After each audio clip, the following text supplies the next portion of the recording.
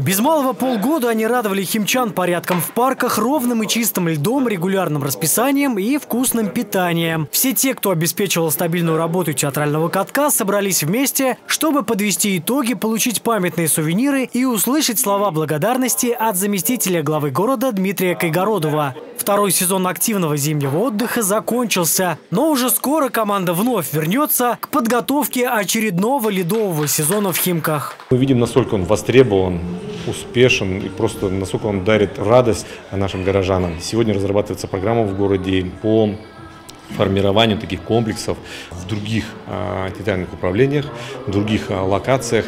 И мы активно этим занимаемся. И я думаю, что мы удивим наших горожан в хорошем смысле. В сезоне уже 21-22, и он будет еще более ярким, насыщенным. Второй сезон театрального катка длился с середины ноября по 15 марта. Площадку посетили почти 100 тысяч раз. Мы считаем это хороший показатель.